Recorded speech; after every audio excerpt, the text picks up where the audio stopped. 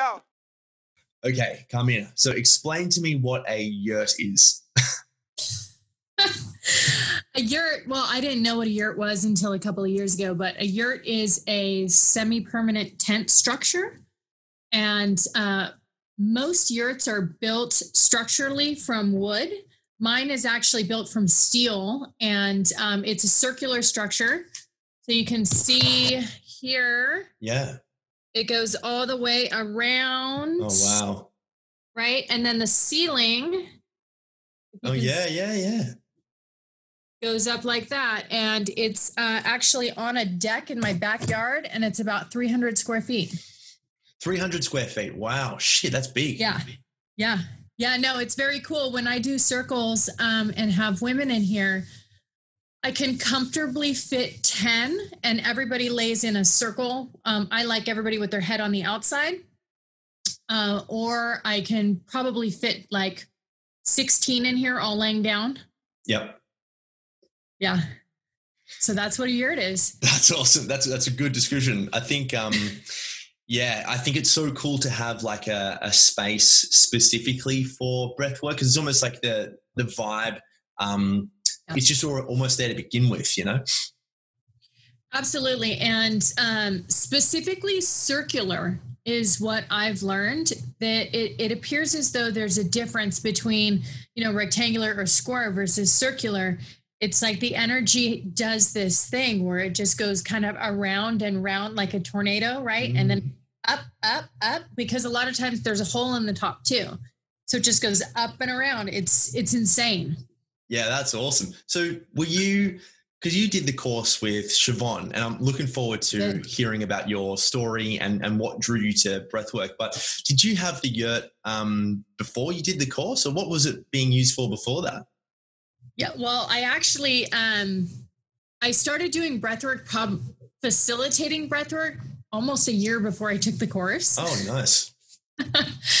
and it was um, not really on purpose. I never wanted to facilitate breathwork, um, but I people kept coming to. I did it with one or two people, uh, kind of by accident, actually, and then people kept coming to me and coming to me and coming to me, and then the community kept coming to me and then i'm like oh i better get maybe some official training know?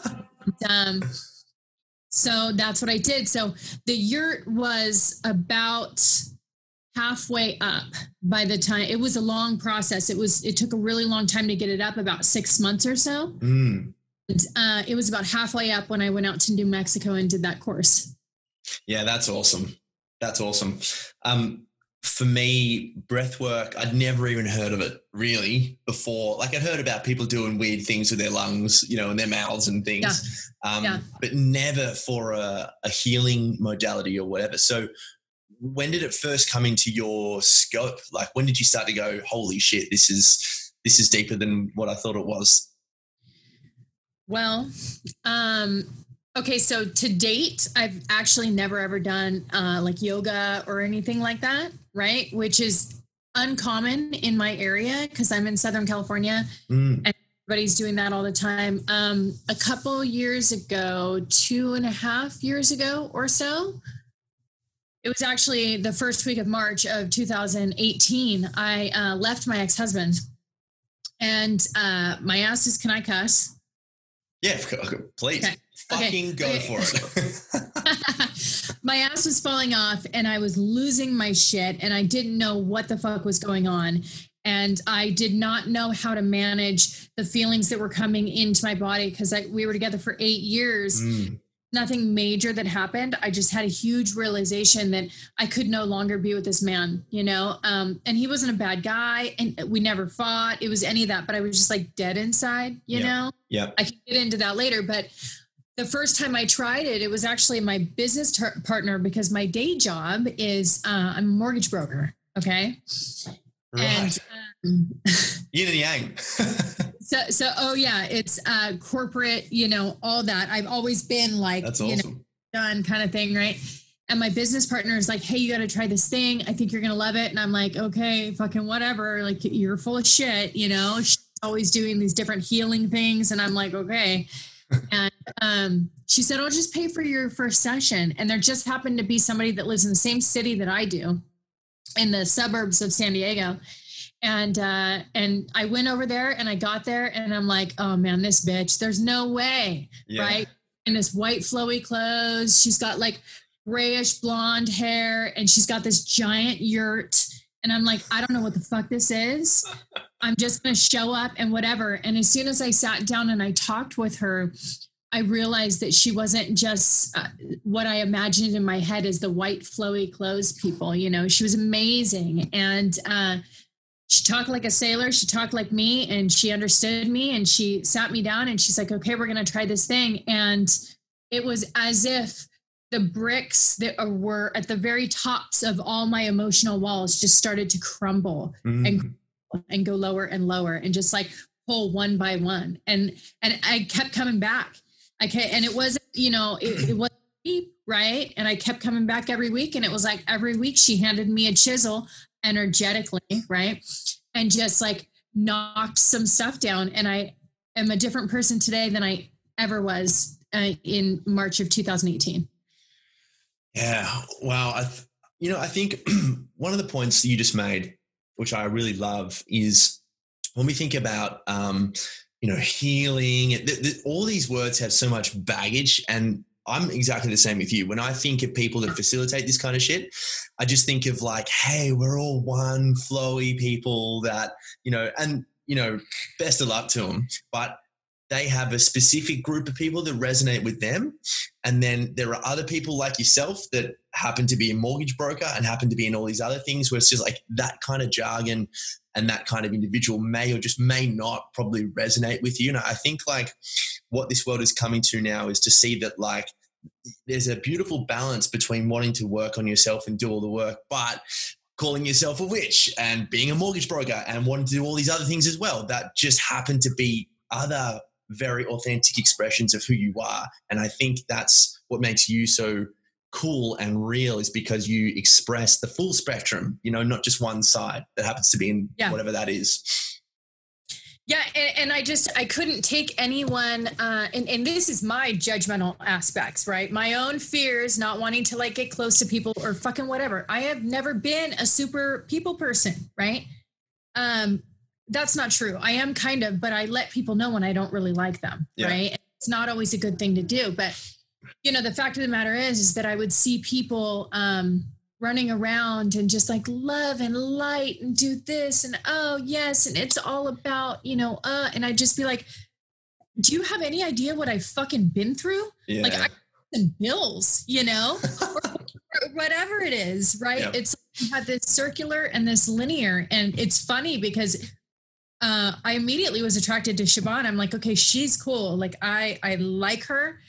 She's not exactly like the others, you know. And then of course, my judgmental. I'm also a Virgo rising, so I'm highly judgmental. And um, you know, uh, I kind of stuck out like a sore thumb uh, at that training that I did in New Mexico with her.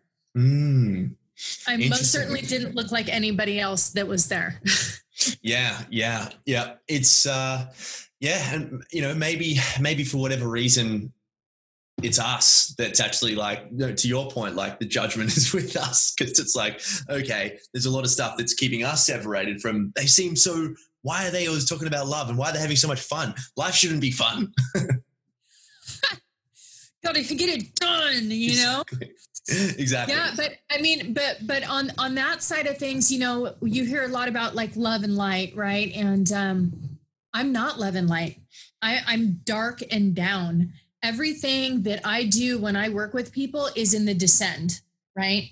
I go down, down, down. I don't go up and out. It's everything is down, and there's just a little bit of a difference there. And I notice there are a lot of people that are like, you know, fill your body with light and this and that. And there is absolutely nothing wrong with that. That's just not my style, you know. Yeah. Okay. So fill your body with red, black smoke. That's not what I'm saying, but yes. it's a little bit different. Yeah, so if you could explain the difference for us there, because obviously both sides of the same coin, but what is the darkness and what is the going into the descent sort of thing? I think, you know, and, and it's sometimes it's hard to explain, just as breath work is difficult to explain to anyone that hasn't done it, you know. Um, but when I work with women, I ask them to reach into those cracks and crevices that are normally completely covered up. I ask them to look into their private self and their secret self. I ask them to look for, you know, the mother and the maiden and the whore, you know, um, the piece of them that they absolutely would never want anybody to see, that we don't have to show this beautiful, perfect face of love and light. We can show this ugly, crazy, you know, needs to heal piece that needs to also get out that balance between masculine and feminine you know yeah. I I struggle sometimes because sometimes I lean too much into the masculine, right? So I got to force myself into the love and light sometimes, you know. But at the, at the same time, um, masculine's actually white and and feminine is actually black, right? And and feminine is um, circular, right? And masculine and wavy and it doesn't make sense and not illogical and all that. And and masculine is linear and like mortgage, banking, houses, jobs, nine to five, you know. And um, but when I work with people, I ask them to go far, far, far deep into themselves if they can access it and go toe to toe with that being that's inside of there almost mm. like the shadow. Go toe to toe and say, fight me, fuck me, whatever it is, right? Mm. But we're not going to ignore it. That's what we're not going to do, you know? And um, I work with women in, in, I tend to get a lot of women who are very, very, very tough and would never do anything like breath work, which are, mm. you know, mm. like me. So, what do you mean by tough?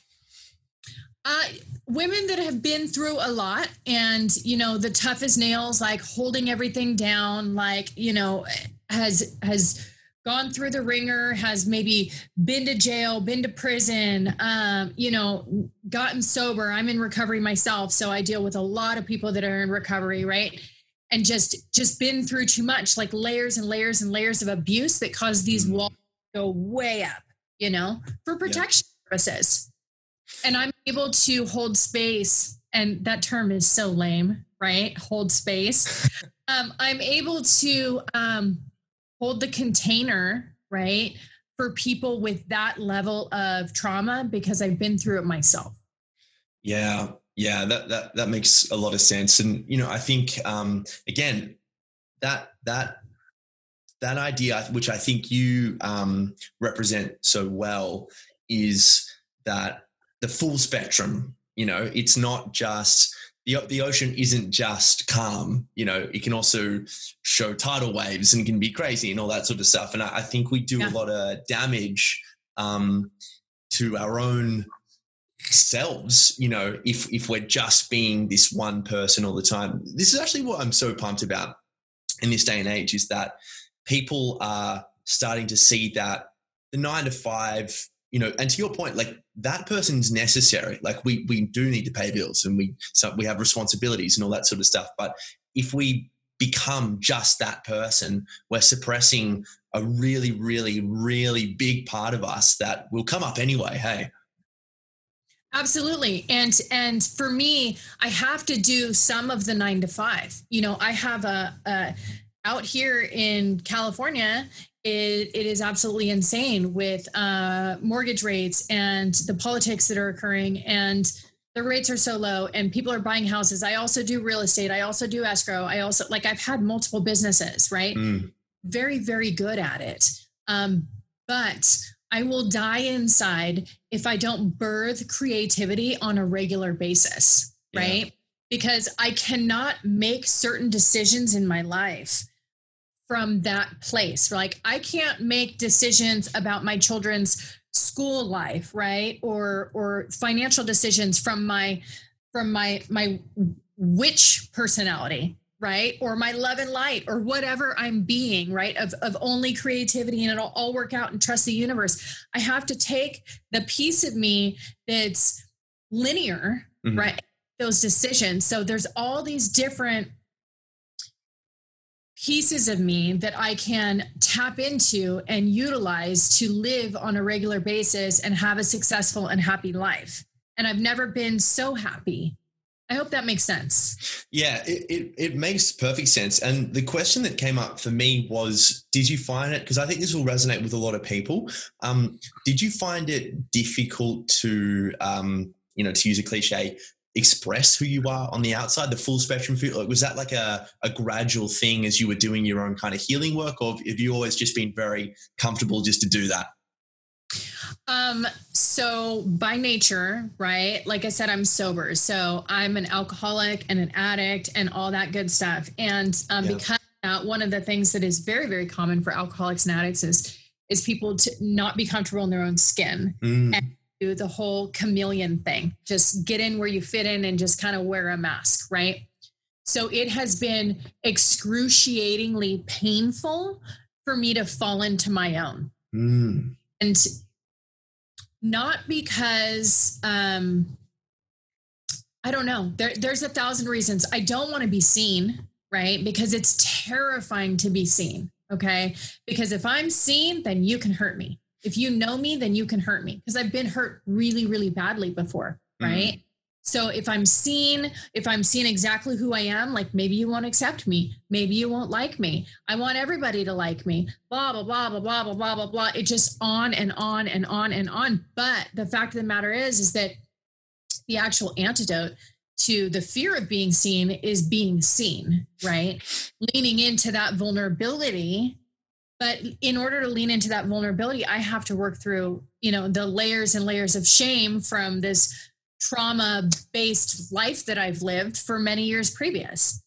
Right. So um, it is not easy. I didn't even start really dressing and doing my makeup and, and looking like I wanted to look until I left my ex husband. Mm. And he ever said that I couldn't, but I just was so not being honest with myself in so many areas of my life. I wasn't living my truth because I was in a relationship that didn't have passion and love. Mm. That's a whole nother fucking podcast, but still, like, you know, but it's it's terrifying to being seen. And I am not an exception to the rule. I don't just like stand out there and be like, oh, I'm being seen. You know, I post things on Instagram that are highly uncomfortable for me. But what I'm trying to do is I'm trying to empower women uh, or anybody really to be able to be seen that it's not as scary once you actually rip the band-aid off. And there's going to be a whole lot of people that don't like you but the people that do like you like you for you not what you are trying to show them that you are just to fit in. Yeah absolutely. And you know to your so do you work specifically with women? Um yes but i'm actually starting to uh, i'm planning to roll something out in november that includes men. Okay cool. I'm, but yes yeah. i have been working specifically with women. I have worked with men. My boyfriend's a, a breathwork facilitator too. Oh no shit. Yeah. That's just, that, that would just be like the most incredible i can imagine the energy in that place. Four hours of breath work what are we having for dinner well he doesn't do it all the time like i do right? He's he's got his thing you know he's in construction he's a general contractor. So he does he does his whole thing and then like he does this other thing. And he didn't start doing it until uh, i introduced it to him right? And he was exactly the same as me. Like he rides a harley and um, says fuck a lot and has a lot of tattoos and long hair and does not look like love and light whatsoever. Yes Yes, exactly. And, and I think that's a cool thing to note as well that, you know, that whole opposites attract thing. I mean, obviously there's truth in that from a symbolic perspective, but relationships are uh, just really whatever works. There's not one individual that has to embody that side of it. Just like, you know, it really kind of ebbs and flows. Yeah. No, absolutely. And it's funny because um, he's somebody that I knew for uh, a few years, right? We've been together about a year and a half. And um, like I said, and I've been divorced about two and a half years, right? And I hired him in January of 19, right, to build the yurt. And uh, one of the reasons why I hired him was I always, I, I mean, I, I really didn't like him like at all. I kind of thought he was a fucking asshole and a douchebag, right? And uh, he really didn't like me. He thought I was just a raging bitch, you know. And um, we knew each other from going to twelve step meetings, Oh, um, but wow. know how to build things. And I was like, perfect. Like I will hire him because I know I'm not going to be attracted to him and it's going to be fine. Right. Because I, I just, it's just not there. Right. And I hired him to build the fucking yurt and, um, we fell in love. No way. So how did that come about? From from literally not liking this guy to falling in love. well, um, I don't know. I was changing at such a rapid pace myself with everything about me, and he was changing at a rapid pace with stuff that he had gone through in his life. I hired him to do a bunch of like handyman work. I hired him to build the deck for this, and then I got the kit for this for him to build this, and and he was just I work from home, and it was a very pool boy situation. You know, I work from home. My window faces the backyard. He'd be out in the backyard, and I'd be like, "Huh." Damn. I made him lunch a few times and we would just have these conversations and we would talk and talk and talk. And I was like, holy shit, I think I have a crush on this guy. this guy builds a nice yurt. so he built me a yurt and we fell in love. I mean, Yeah. it, it's just, it, it, it, and it's the best relationship I have ever had in my life. It's Yeah, fucking, yeah. That's cool. I, think um, I, I'm really interested in um, relationships, and it, you know, it comes up a lot in counseling. Um, as I'm sure it does in breathwork facilitation too, you know. And I think one of the most important things when it comes to relationships is we, um, we know the cliches. We know, you know, it's two people working on themselves, and it's two two whole people that come together. But I think something that people really, I suppose, don't forget, but um, underestimate is is the power of like shared goals you know having like a future and a reason to be together. Because it's like we now live in a world now where you know women don't need men for the finance and men don't need women for the children. Like it's a bizarre world now where it's like people can go and have their own kids in labs and and people can make heaps of money playing with toys on youtube. Like it's a weird weird world. And there really now has to be that question of okay genuinely like why are we together? What are we doing? Like is our life going to be sick? Like what's our future like you know? Um how does that kind of play into your relationship? I'm interested. Well, um, it's it, it has been quite interesting because I was doing something very very different than than him. You know, he's doing he's doing construction, and he came from you know he doesn't have any kids, and he I owned a home and and or I still own a home, and and he you know was you know had roommates, and it was like a very um like he it was just different for him he wasn't going from like a full family unit and i have two kids yeah Right. yeah so that was actually uh, one of the things that we talked about in the very beginning. And I was kind of shocked because I told him, like via text or something, I was like, well, you know, I might be having a crush on you. Right. Mhm. And he responded to me and he said, well, well, I said, I said, if you keep being so sweet to my kids, I might get a crush on you. And he said to me, um, sounds like you already do. And I'm Yeah. this motherfucker. Right. So Oh, I. I just I just ignored that text for like 24 hours, which would make him crawl in his skin. But either way, you know, um, when we when we after that we talked and and he sent me this big old long text about how you know these are the goals that he has. This is where he wants to go. Like he wants to move in this direction. He's not fucking around. He doesn't want some bullshit relationship. He's not a booty call. Blah blah blah. And I'm just like, what the fuck, you know? And um, but we talk about this on a very, very regular basis, like where we're going, like where's the next goal. And the support is so huge. You know, he just made a huge job change this week, actually. And um, with that, you know, he comes home and he talks to me about it and he runs it by me and he, he says, you know, what do you think about this? And then I have shit going on at work, like big business plays that I'm making, or if I'm going to buy a bunch of stock or something, you know, and I come home and I talk to him about that. And it's like this, it's not only like we don't share finances or anything like that, but um, it's this level of respect and community within the relationship in moving forward and having that same direction, right? And wanting to go. Like he and I are both very goal oriented and we want to just build an empire, right? That's period. That's how it's been since the beginning. Mhm. You know, do all these things and we want to make a bunch of money and live really well and go on vacations and help people and be satisfied, you know? So that is a conversation that is regularly had. And I can tell you with my ex husband, that conversation was never, ever, ever had. Mm. He was I wanted to, you know, go rule the world, right? And build these businesses and, and move forward and do all these different things. And he wanted to punch a time clock. And that's where we continually just drifted. Yep. You know? It was yep. huge. I think I think it's I think it really is. And and I think um, you know, as well, what, what's so cool about shared goals, it sounds like especially true for for your relationship, is that it, it's exciting because it's like, okay, this could really happen if we do this stuff together. And and trust ensues as a process of the excitement that comes from achieving those goals you know because people always talk about this intangible thing called building trust in a relationship. And um, it's practical if you apply it to i suppose what we're, we're talking about here. You know it's like hey i want to do this i want to do this. Trust is a consequence of you guys building an empire together you know, because we both have skin in the game. If you and I are building an empire together, we both have skin, skin in the game now. I'm doing all this stuff. We have no time to think about other things, and the relationship grows and it grows and it grows.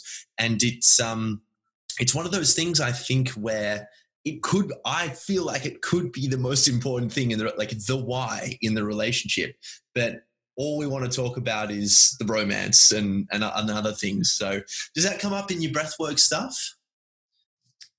Um, not as much as you would think it does. You know, um, I have I work with a lot of women, um, and quite a few of them are uh, single. But when it does, and they're not, it's it's very. Uh, it actually it actually does the whole like being supported on different journeys. So it's not necessarily like building an empire's kind of support that is being sought, but it's it's growing in this line together right mm-hmm. or this whatever together right so i'll have women come to me and say you know I, I, feel like my husband doesn't hear me or he thinks i'm ridiculous to come to breath work or or whatever it is and just that level of support and i think that in combination opening up yourself and being vulnerable with these pieces of yourself being seen with your own partner yep.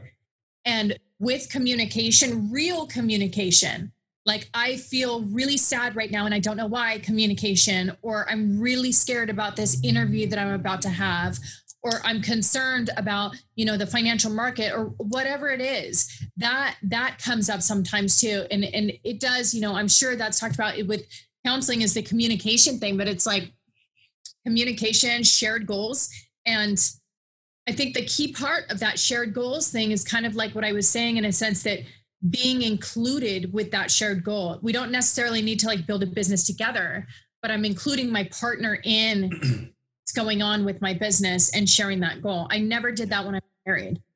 I yeah. would like invest a bunch of money and not tell my ex-husband. And it wasn't we we didn't, you know, it, it's not like I was hiding it or anything. He just didn't care, you know? Yes, exactly. Exactly. There was just that, I suppose, yeah, to your point, that um lack of communication. And I think I think this is a really cool part of the conversation because there's a I'm, I'm sure you would start to see patterns emerging in what the women you're working with are saying. Um, and obviously, you know, there's more of a, um, a feminine feel to that there. So, what are they saying in terms of how the masculine partner could Im- improve or what's the number one complaint or feedback that you're getting that's coming as a result of the, the breathwork sessions? Well see when i work with women it often comes up sexual power right? And their own um, personal intimacy and allowing themselves to be vulnerable in a relationship like sleeping naked or whatever like fucking with the lights on or feeling pretty that kind of stuff. What i'm i hear often is that i do this or that and my husband or my partner or whatever i just feel like they don't care. They don't see me you know? There's like this blind spot where men in my experience, not all men, not my partner, right? But a lot of times men will see women doing all this stuff, right? Like, oh, I'm going to the yurt on Friday night. And it's like, okay, honey, you know, yeah. and um, the women actually want them to be more involved in it. Like ask what what is going on, like what is coming up for you, you know, mm-hmm. and being seen on that level. And a lot of the stuff that I'm doing um, and that I do in breathwork is is I encourage women as much as possible, like go get some fishnets and stilettos, you know, go attack your husband, you know, stand in the mirror, take pictures just for fun, like that kind of stuff. And I hear often that it's like, I don't feel pretty, I don't feel seen, I don't feel appreciated, right and trying to fuel that up and just having you know the the man or the masculine or, or the partner or whatever kind of put down their phone for a second and really connect mm. you know and and in the whole thing about relationships i'm finding more and more and really i had this gigantic epiphany a few weeks ago about the uh the energetic connection when partners are together, you know. And I'm not talking about, you know, just like having sex. It's like there's there's when everybody's in tune, like tuning forks has gone around everybody's ears, like everybody's in tune and knows what's going on with their body and feels seen and feels vulnerable and can have any conversation.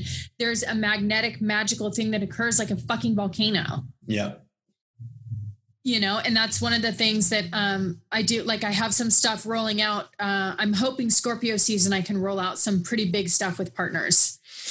Kind of a return to intimacy deal.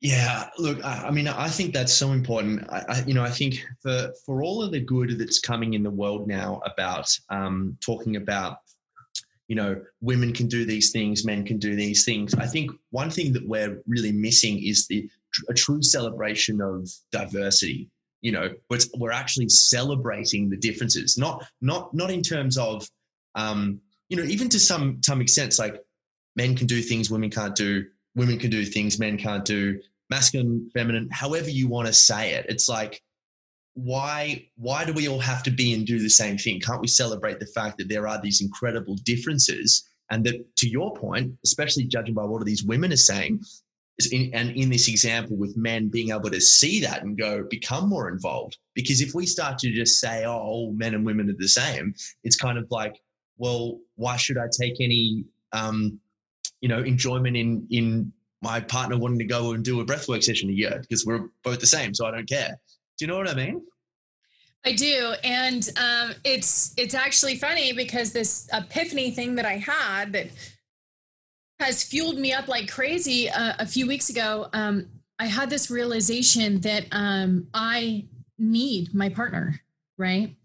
Because I have been taught one of two things, right? Growing up, I was taught like, okay, well, you got to get married, you got to have kids, blah, blah, blah, blah, blah. I went to Christian school, you know, it was like this whole thing, right?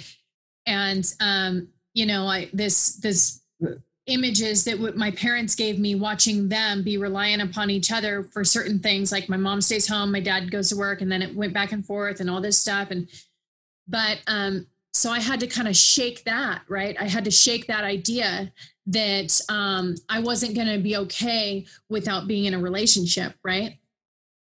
And then i came to this spot um a few years ago when i left my ex-husband that holy shit like i don't need a fucking man you know? Like i can raise my kids i can do whatever i need to i can hire a fucking handyman you know? I can cook i can take get takeout i can make enough money to support the whole family you know? I don't need a man right? And so i was hell bent on the extreme side of things of just i don't need a man like i'm an independent woman yeah you know? And then i had this realization just a few weeks ago. So it's funny we're talking about this is that i need him you know?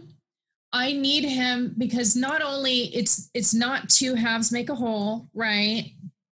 Um however he is like the gasoline to my fire. Mm. yeah, like i can have a fire on my own but then he throws some gasoline on it. Like he lights me up right? And i do the same thing for him. Yeah. So if i want to live the type of life that i want to live I need him to hold space for me in those times because I don't have to be this stern, tough, can deal with anything bad bitch, right? Sometimes I need to fall in his arms and sob and be held.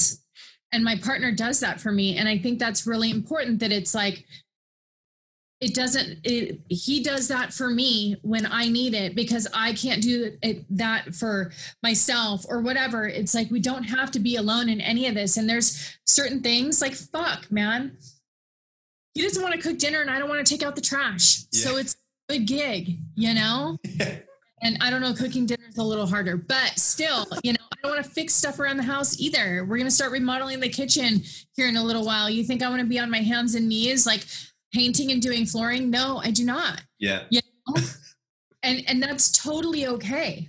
It's just a bunch of pieces of my own assets and his assets all coming together and making this that's what a partnership is. Yeah. Yeah. It's our household collective. Yeah, for, for sure. I, I, I, I also think that, you know, based upon how what what's happened to women over the course of centuries and years, I think that that does that inevitable pendulum swing is going to occur because it's like finally now, and and not even just male female oppression or whatever it is, but even just like technological advancements like the tampon in the 20th century, like all these liberations and freedoms that women are afforded now, which is so important, you know. So it's like reclaiming their independence finally that men have had for so long, you know? And yes, of course, I think, you know, men and women on the whole, it's interesting. I didn't think we'd be talking about this, but it, it, it's, it's, it's interesting. I think, um, you know, on the whole, um, we've tried to help each other get out of the, the, pains of survival and being an animal, you know, but, but women have really had to be dragged through the mud in that. So now finally we're seeing all these women going, I can be independent, I can do all these things but then I think what you're talking about, and correct me if I'm wrong, is that final stage of development. It's like I can do and be whoever I want to be, and I'm going to do that. But isn't it nice that I can collapse into my partner's arms if I need to? It is, and it, and it's necessary too because if I didn't have a partner that I was able to do that with, I would not be okay by myself. I would need like some girlfriends or something because it's the softness that's going to take over the world. Mm. It's the that's going to build the empire. Totally. It's like the bad bitch on the fucking throne. You know, it's like I certainly can be a bad bitch on the throne. I've been doing it a long time, right? But what that affords me is not letting a whole lot of people in. Mm.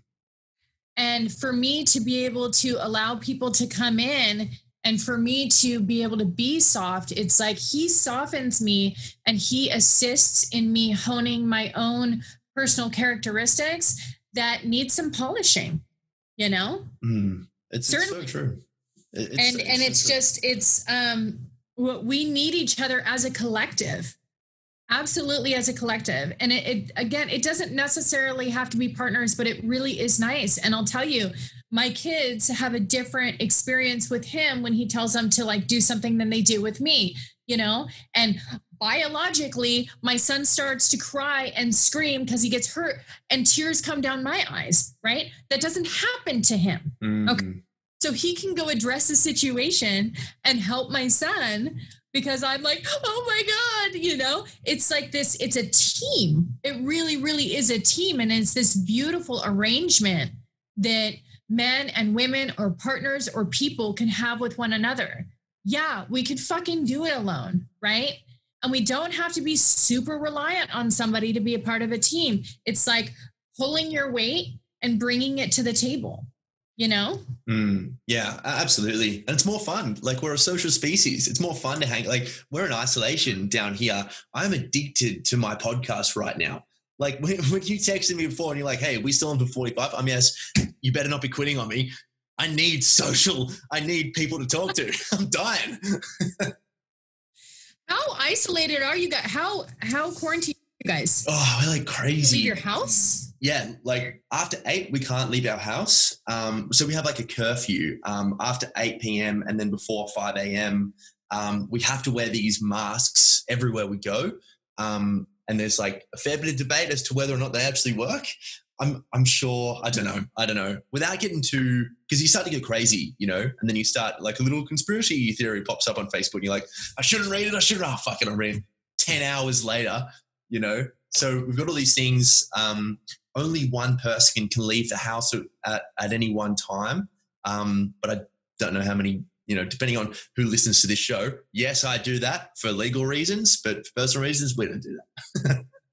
Um, yeah so it's pretty hectic, Carmina, but um, we had a big spike um, about six weeks ago or, you know, or whatever it was. So I think we're just kind of coming off the bat and cases are going down a little bit more now. But yeah, it's a funny world for, for the mental health, um, which is actually really, it's, it's always, you know, Dickens had it right when he said it was the best of times, it was, it was the worst of times, because that's all happening. But at the same time, since when have we never been able to be held and, and facilitated in something like breath work, which is essentially a shamanic practice in the comfort of our own homes, you know? Yeah. Well, it's it's not um it's not as bad as it is here. You know, technically we're we're still, you know, supposed to be staying at home, right? Yeah. Almost everybody's been considered a, an essential worker, right? Like I'm considered a banker, so I'm an essential worker. But um, you know, certain things aren't open. A few months ago, we had curfews you're supposed to have a mask on everywhere you go, you know, but I'm planning my son's birthday party in a couple of weeks. Right, right. Not that I don't care. It's just that, well, here's the deal, right? With masks. Okay. So you go out into a, grocery store and you have your masks on. You had no, people had no idea how important connection is mm. with facial expressions. Totally. You cannot see somebody smile the same way that they would smile right? And people walk around like oh you know? And it's just this it's it's gone into this this really big lack of connection. And i you know through things like podcasts and uh doing breathwork online and all that stuff you know um we're able to connect in very very different ways now. It's it's going to be different. It's going to be so yeah it's going to be so different. It's uh it's a funny world because it's like we just need for like so many people say oh you know i'm not a hugger or you know i'm just i'm not a people person you know? But i think however however much that resonates for you to your point we forget how much communication is unconscious and how much we're taking in that aren't words you know just like right now you and I are basing this conversation really unconsciously from like how we're interacting and it's going well yeah. because we're like leaning into the show and like laughing heaps and it's it's fun, you know? But out out in the world and to your point, I think it's so true. Like we're not seeing people's faces anymore and it just sucks and we we, we got so many friends that are um, first time parents and it's interesting like how old are your kids? My son is going to be 4 in a couple weeks. Yeah, right my daughter's 13. 13. Right. So ex- yeah, exactly right. So it's it's the age where this stuff is really it's really important that we learn social dynamics, you know? How well, he's in preschool. Yeah. He's their preschool is still open, right? Wow, wow.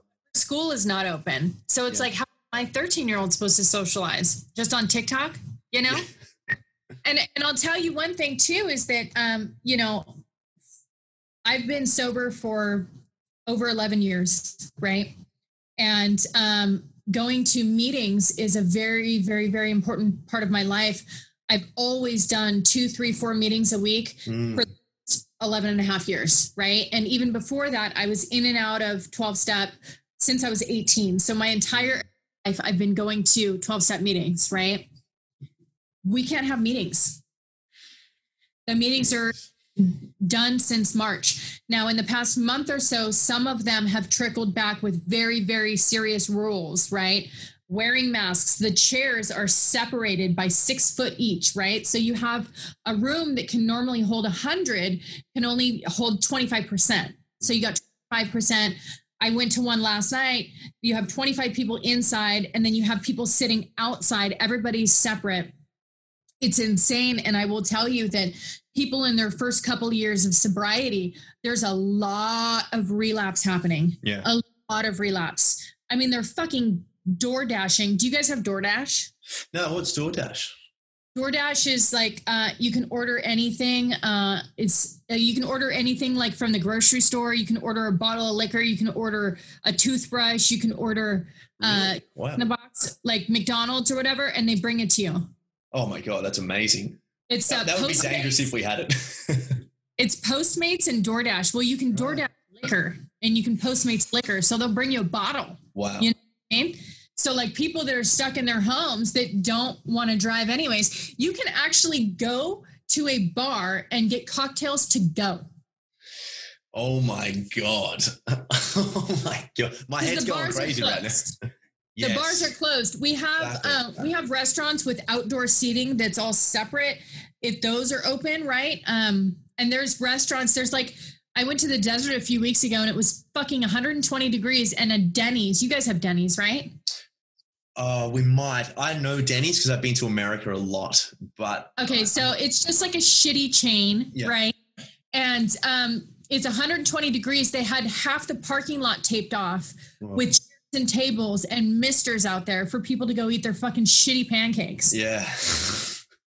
it's good because you can't eat indoors. They won't yeah. let you indoors, right? But the meetings problem, right? We're doing meetings on Zoom. Yeah it's like Hollywood Squares on a regular basis, you know? Um, and so uh, I've had to, I've created a couple meetings, like women's meetings, um, and to do regular 12 step meetings over Zoom. And it's been totally different because you, somebody is struggling, you can't hug them, you can't hold them, you can't whatever, you know? And I have seen a very fair amount of people fall into deep, dark depression, fall into uh, relapse, fall into anything. There's been several overdoses. You know, I can't imagine being a junkie right now, you know, having to get dope on a regular basis. Like it's it's crazy. It's it's so again, a whole nother podcast, right? But it's it's um the lack of connection and it's so easy for people that are naturally reserved to fall into a fucking well right now. Totally to just be forgotten right now like people that only have I've, I've always been very social. I know a lot of people i have a lot of friends you know and i've remained that way through covid and i've connected with people and i've done a lot of facetime and a lot of zoom and a lot of stuff you know and and i do everything i can to fire people up right? But but there are people that are suffering on such a great level through mental health and addiction and alcoholism and the the drinking levels the the sales of alcohol have increased like 300% yeah. You know it's a whole new drink from home work from home situation going it, on over it is drink from home work from home. Exactly right. And um you know one one of the i suppose contentious topics that's very very dear to my heart is the war on drugs because that's essentially i'm in that world. Um drugs you know in terms of the spectrum there have been drugs that um um, I'd used that didn't turn out too well. There have also been drugs that saved my mental health from psychedelics, you know? And one of the worst things, and you touched on it, and I, I wanted to go there because you touched on it. Um, you know, this time right now is is so it's it's it's like the best if if you could have thought of a better way to increase addiction. You know, I don't even think you would have come up with something like this. To your point, you know, separation, isolation, jobs gone, so people are bored. You know, and what do you do? And and then all of that put on a rubble of trauma, perhaps even from childhood, and someone's already using the bottle or the syringe or something to numb themselves from pain, and you've just got um, addicts galore. You know, so I wanted to bring that up because you're you're right in ground zero here, having been through it yourself and being exposed to these meetings. How are people that are, you know, let's say 10 days sober or first meeting, how are they coping and managing? And what are some of the tools and strategies that have been effective for them? What's interesting, I was actually having a conversation with a woman last night who got sober during COVID, right? So she wow. got sober I found this to be pretty magical because to me, getting sober um, and and working through, you know, doing twelve step program right is is there's a whole lot of magic involved. And um, so she got sober because her roommate was in the program and she would hear her roommate on meetings like she'd be in the other room or whatever and she would hear her roommate so she was like you know just by osmosis almost like getting these meetings in her system and then realized holy shit i need to stop drinking right she's uh-huh. relating with what people are saying because we we tell our stories we talk to one another and we share and we go over the um you know the book and all, all that stuff and and um I think that people are just following direction just as you would um, in the very beginning because um, the 12 step program started in the 1930s, right?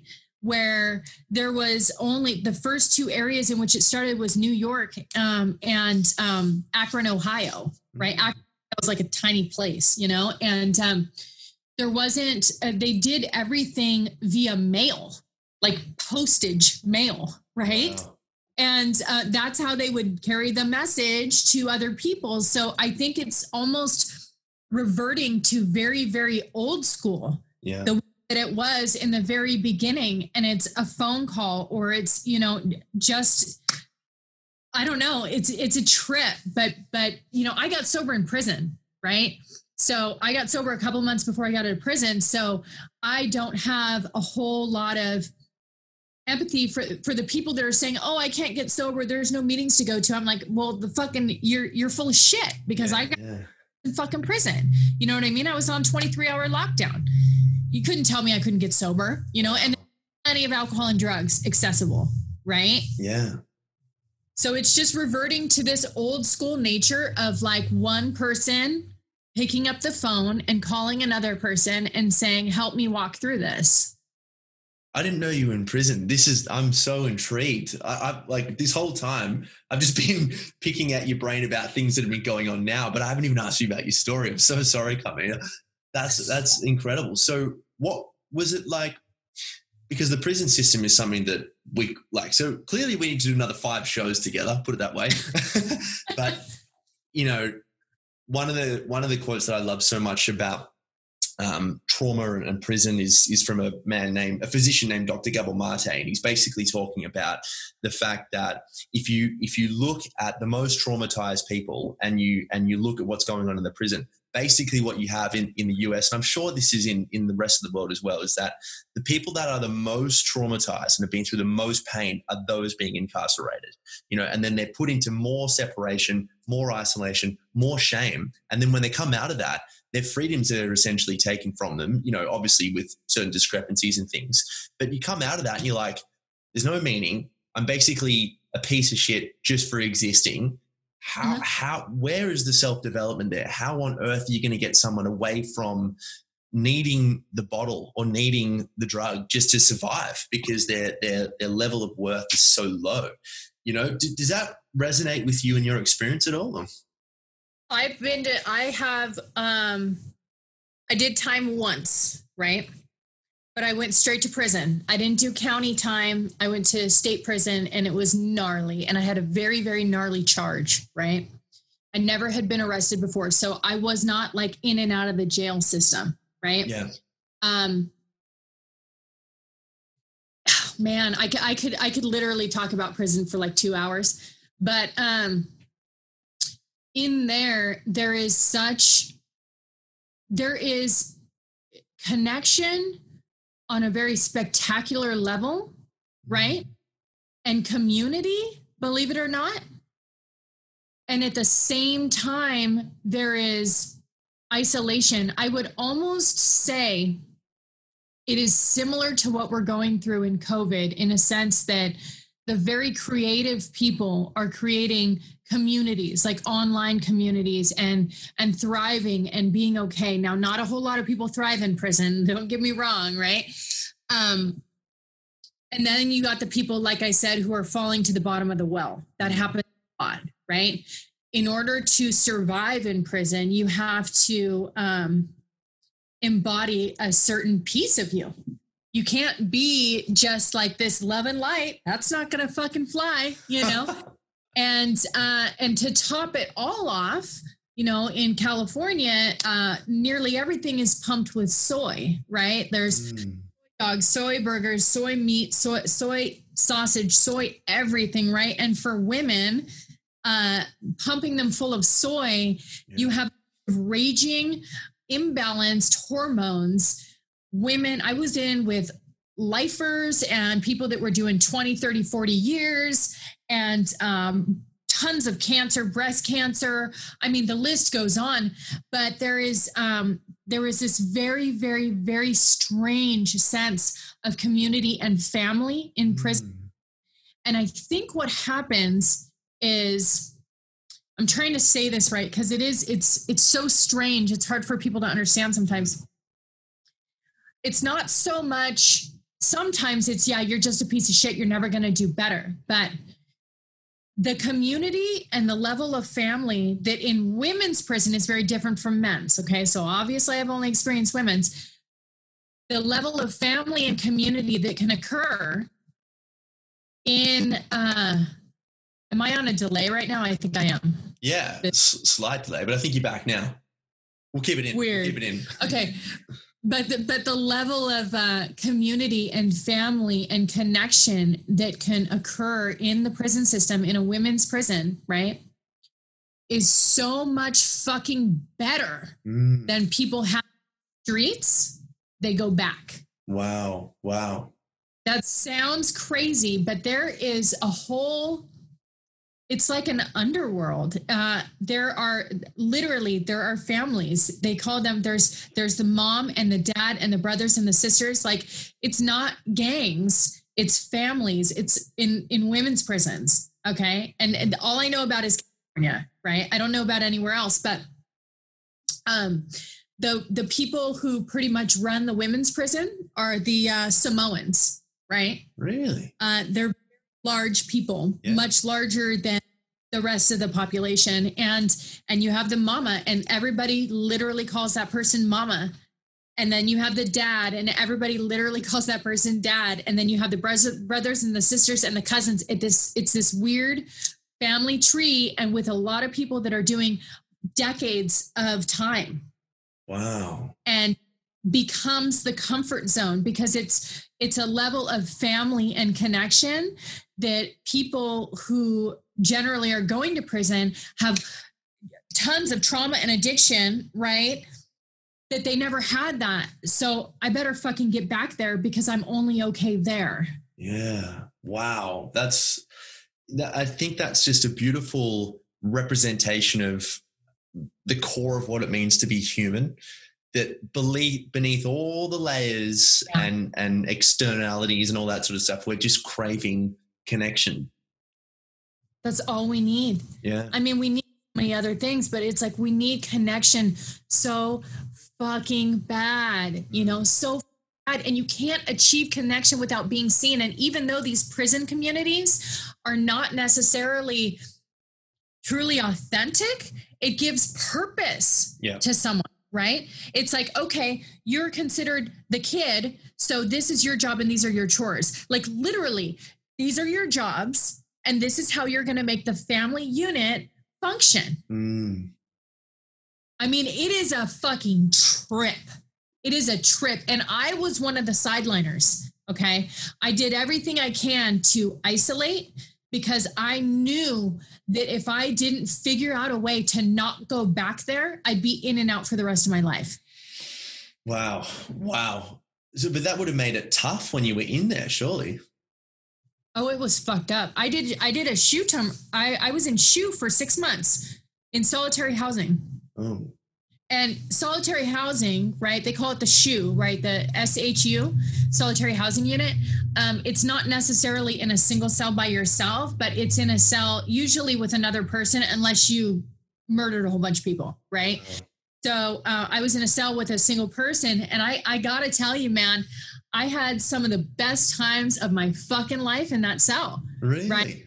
like you see it in the movies we call it fishing right because it's two tiered okay and everything's concrete and there's concrete bed it's cold as shit in the wintertime right um you don't go outside it's 23 hour lock well it's it's i think you can go outside twice a week but if you go outside or take a shower or leave your cell in any way the COs, the correctional officers, uh, toss your cell. So I actually did not leave my cell for six months. I didn't get an actual shower for six months. Whoa. A bird bath you flood the room and you flood the sink and you pour the water from the sink over your head and you take a bath every single day. Oh my God. That's awesome. It's fucking insane. Okay, but this fishing thing, right? Yeah. So in the middle of the night is the only time that you can do it because there's only one CO in the middle of the night and they just don't give a fuck. So what you do is you take an envelope and uh, you cut your sheets, right? You get these shitty black combs, and if you pop all the teeth out of the comb and just leave the end one, you can take your sheet, you can rip it like that, and you make these fishing lines, right? And you tie them and you tie them, and, and they're long, super, super long, right? I mean, I'm talking like a hundred feet you can make, right? And you you take the envelope and you have to put the right amount of paper in it because it has to weigh the right amount right? And you put, poke a little hole in the side of the envelope and you tie it. And there's a gap under the door like this, right? And you get on your hands and knees and you got to look under there and you go like, you go like this and then you flick it out, right? And you flick it to the side and then the, the person next to you takes their envelope and they flick theirs out to catch, to hook it. Whoa. Right? And then they pull theirs in. And you can get a fishing line going all around, like to 30 different places, right? Jeez. Everybody has to work as a team. And you hear hooting and hollering and, and talking shit. And you know, they're passing dope and they're passing, you can get some a very small amount of hooch or food or whatever, or love notes or, or whatever it is, or kites. We call them kites, right? The the letters. Right and you pass them cell to cell, right? Until it gets to where you need it to be. You say, like, you can write on the envelope, like cell 214 or whatever the fuck, right? And you can even jump tiers. You can jump to the bottom of the tier, and then you have a line that goes back and forth, and you can, you know, get it going. You can pass shit back and forth. Isn't that crazy? It, yeah, but uh, again, it just it that it's so it's so wonderfully human you know just people coming together they're all in there together and it's just like the shared the shared mission and the purpose and you know because like i, I think and, and I, I would say that in the past that i've been um, guilty of this as well because i went on my own journey trying to figure life out you know and um, what i'm really now starting to come to realize is that you can make things too complicated and really, what life is all about is just the things we've been talking about, Carmina, you know, like the, the connection and um, feeling a part of something and having it, you know, we could go into the details and the specifics and break down mental health into its intricacies and, oh, I need to have more dopamine and serotonin I need to fucking sleep 7.3 hours. It's like, or I need to uh-huh. have a laugh with a friend, you know? And I think um, it's just fascinating that even in prison, where you would imagine that separation and isolation are at its worst, people are still finding a way to come together and connect. And I think that's a not just that. There's yeah. more though, Tom. There's more connection. Sorry, I lost my earphones. That's okay. There's more connection because there's no cell phones. Good point. You know? Yeah. There's no fucking social media. You know what I mean? Yeah. There's letters. There's love notes. You know what I mean? It's primal. Yes. Right? Now, I'm not saying go to prison and go have. No, no, we're not saying that. Not what I'm saying, right? we are However, saying that, guys. it, it goes back to like the working as a team thing. It goes back to talking about originally in the, the sense of goals, yes. being a part of something, right? Mm-hmm. Being in, in something. You can't get your shit from cell 101 to 214 without the help of 199. That's so true. Like everybody's got to be in it, right? Or somebody's going to get beat up or stabbed on the yard later. You know what I mean? Yeah. One of the two, right? It was, it was, there was a lot of fucking laughter and there was a lot of fucking fear and there was a lot of shame and there was a lot of growth and pieces of me died and pieces of me boiled up and came to life, right? Mm, mm. Survival at its purest form on an emotional level, mm. right? It wasn't about like who's biggest and baddest. I got jumped real bad at one point, but like it, it wasn't about that. It, it's about the survival of the mental health. Yes. Right. Yes. And like people made it work. People made it work and people lost their shit. And there were people all in and out of the psych ward section. You know what I mean? constant fights, tons of relationships. Oh my God, everyone is gay in prison. Yeah. Right. It's like, you know, they call them gay for the stay, right? like, you know, like it, women that are like clearly, clearly straight, you know, just absolutely, they, they start dating a, a stud broad, you know, is what they're called. Right. And, and with all the, the soy that they pump them full of, they're growing beards and shit. So it's all this crazy fantasy. Yeah. Vanity. I, I really, really need to probably work on writing a book one I was day. I was just going to say that you pro- you you either need to write a book, you probably write a few books, or start a podcast. Have you thought about doing a podcast? You know, I have, and um, I like every piece of me absolutely wants to do it, and I know I need to, and I'll probably call you for some tips. Yeah, like, sure. Well, Siobhan's just starting one now, but I was going to say, like, not, I know. Not, not even just from like a a marketing thing, just because it's fun. Like, you have so much to talk about and so much important things to talk about. I think that's one of the reasons why um, you you stand alone because a lot of people talk, but there are people that actually have things worth listening to, and I think you are you fit that box very, very, very easily. Um, so you definitely have some listeners, and, and even just from a therapeutic thing, like I, I, I think everyone should start a podcast. I'm so biased about this because it just gives you a platform to say, and if you have one listener or a thousand, you know, it just it, it feels good to work through things verbally. You know, it just feels Yeah. so good. well, that's an, an, an important part of healing, right? Mm, exactly. But we would love to say that yoga is going to heal all of your fucking childhood trauma or even breath work for that matter. But, you know, it, the truth is, is that there has to be a combination, right? You have to have the body work, you have to have the physical stuff, you have to have the energy work and the talk therapy. Yeah. Talk therapy cannot be completely discounted. You know, I have a therapist, I've been doing EMDR for a few months and it's fucking gnarly. I do EMDR breath work and therapy and I I go to meetings and I talk to people and all these things, right? Yeah. Are layers. It's so it's so true. A- EMDR, there I I can't see a difference between when I was taking mushrooms and when I did EMDR. Like I literally can't see the difference. It was just like, oh yeah, that was both. Except that had a weird label, you know. So I've I've never done hallucinogens. But you've done And- breath work. I've I've done breath work, right? I, I would love to, you know, kick myself in the butt for for never have done any, done any hallucinogen. I just did heroin. Heroin was my thing. I like alcohol and heroin. And that's Yeah. it. And heroin was not enlightening in any way, shape, or form. You know, uh, it was all about the numb, right? Um, but it's funny because my boyfriend did a lot of hallucinogens and a lot of LSD and a lot of stuff like that. You know, he's got several Pink Floyd tattoos Okay. you know and um, you know a lot of people i know that have been like okay well this somehow some way made me a better person but you know for someone like me who shot too much dope i lost the right to play with that stuff you know? Mm, mm. it doesn't uh it, it doesn't allow for a space for me to go play with that now because i need to be like 100% sober or i'm not at all So th- th- this is possibly um, one of the questions that I find most fascinating, right? Because am I right in saying 12 steps that originated loosely based on Carl Jung's work? Is that right? uh very loosely yes Very He- loosely.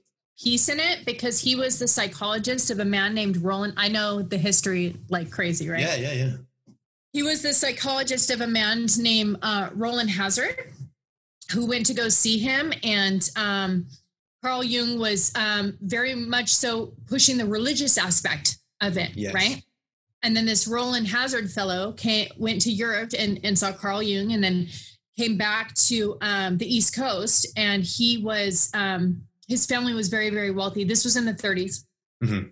He was introduced to a group called the Oxford Group and the Oxford group had six steps and but they were very religious based they were very like christian based right? So there's actually still an oxford group today Mm. right? And the oxford group uh, that rowland hazard was you know hooked up with some other guy right uh, named ebby thatcher actually right? And uh, well no he went he hooked some other guy and they went and they saved this guy named Ebby Thatcher that was going to be thrown into an asylum because he had been drawn last time, right? Because in the 30s and the 20s and all before that, people just got lobotomies and got thrown away, Yeah. right?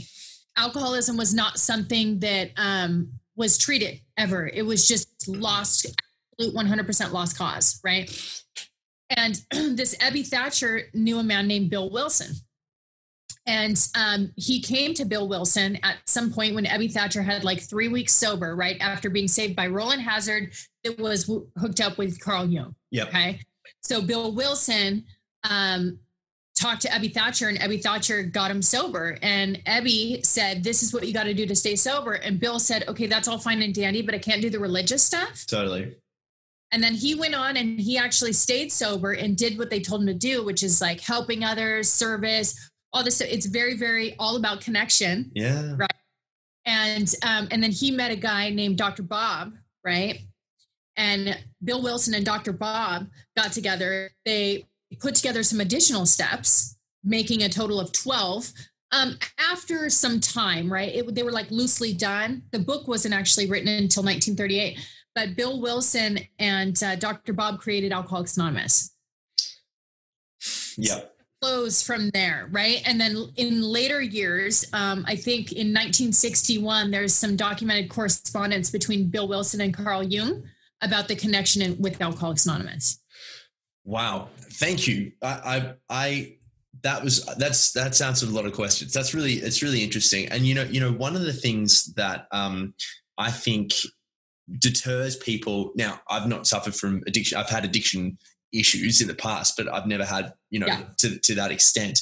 And, um, one of the things where I think people have really deterred from 12 steps, because I've had, um, former addicts on the show and stuff and they've said oh yeah 12 steps wasn't for me and i think it's because it's grounded in that specifically christian um, religious you know paradigm that that that that ethic to it and um because so many people now are just going well that's just a belief system you know like and belief systems are important you know we can't be human without belief systems um yeah.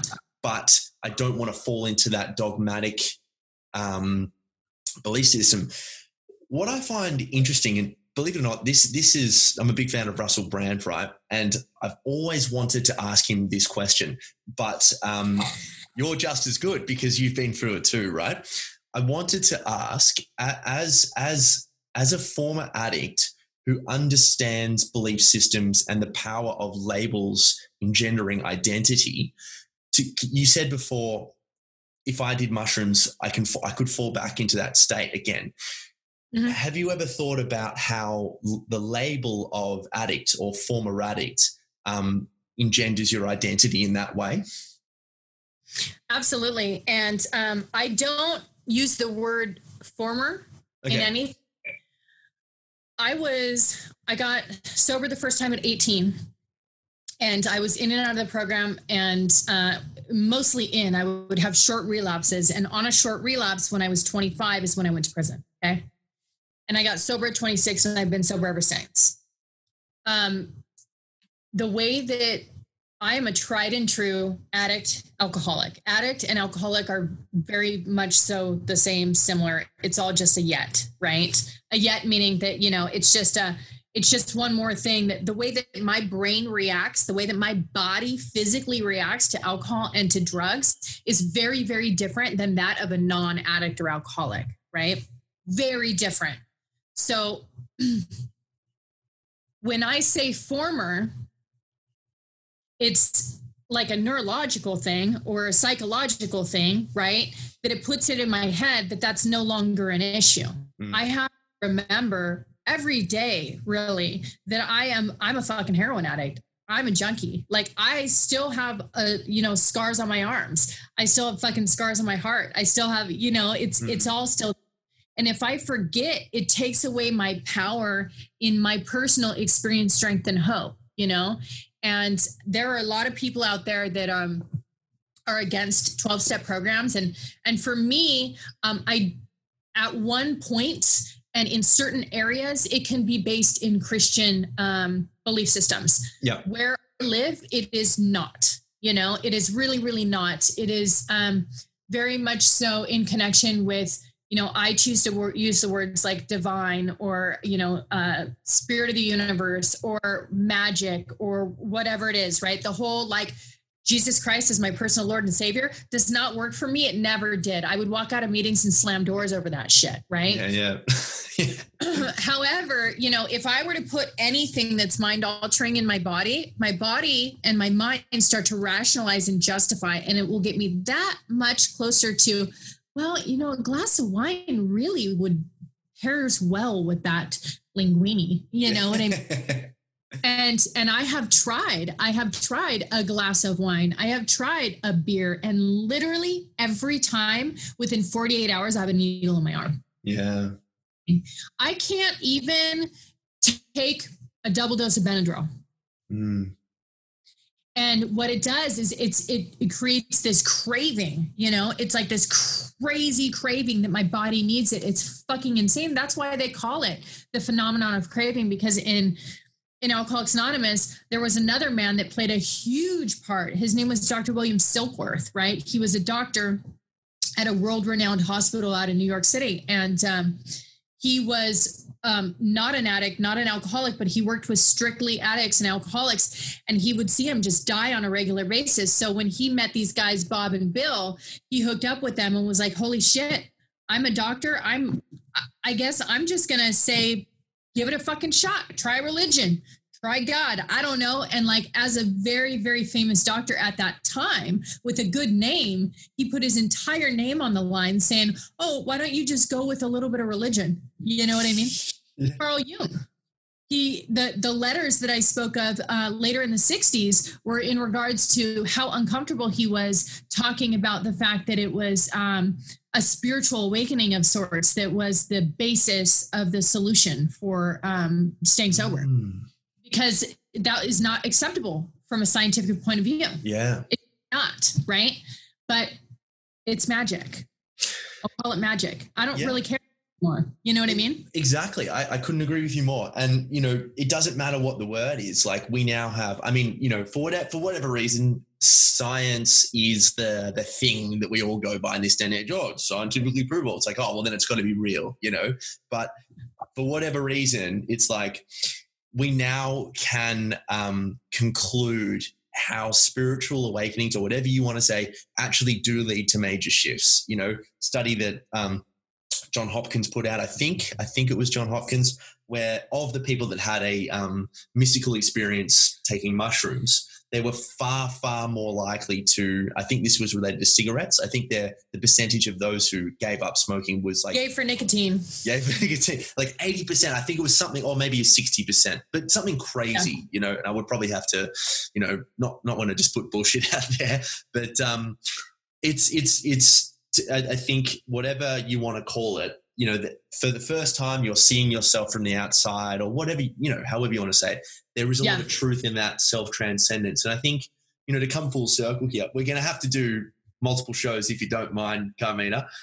Um, I'm but, into it. Yeah, that's good. Yeah, for sure. Um, but uh, to come full circle, I think that's the power of breath work is for whatever reason you're able to see yourself from the outside with, with, with this incredible sense of you're just doing your best, mate. You know, like you just, you just, it, it's, uh, there's a very warm kind of objective. Passion. Yeah. Yeah.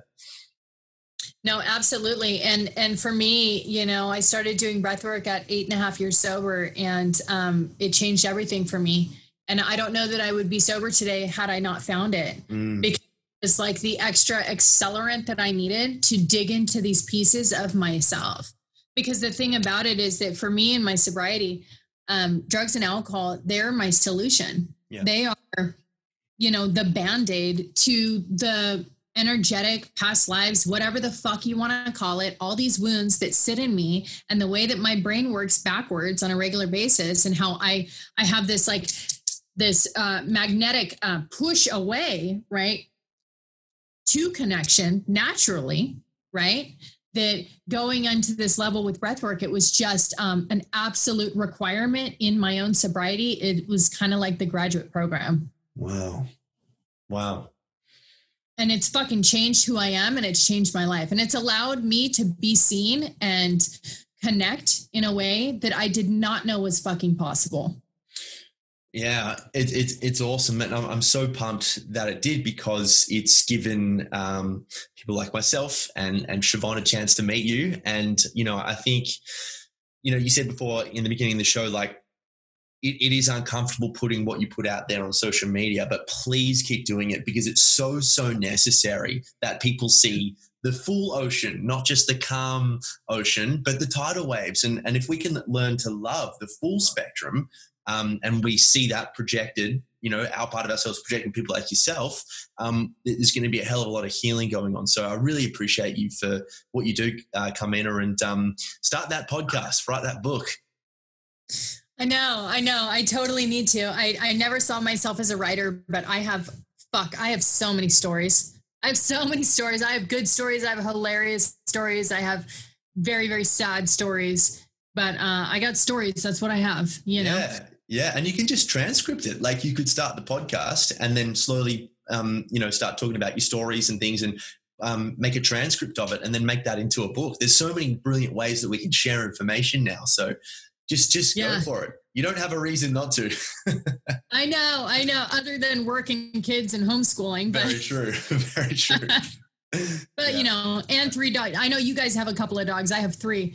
Oh, They're, I got bulldogs. They're ridiculous. Yeah, it's crazy how much time dogs take up. It's unbelievable. Like we have two, and I love them to bits. Don't get me wrong, but like if you put yep. kids on that and you've got an extra dog, we've got two. Like um, you might have a couple of early starts to get on the book. I know, I know, but this is yeah, no, this is this has been great, and I can definitely see us doing some more. Yeah, one hundred percent. We'll we can take a deeper dive into all sorts of things. I'm sure. Carmina, thanks so much for jumping on the show. Guys, thanks for listening. Speak to you next week. Bye. Hey guys, if you enjoyed the content, uh, you are more than welcome to click the link in the description below. That will take you right to a free webinar where I will be taking you exactly through how to design a framework for your life and create that mission that will bring about a sense of intrinsic value to you. Go for it.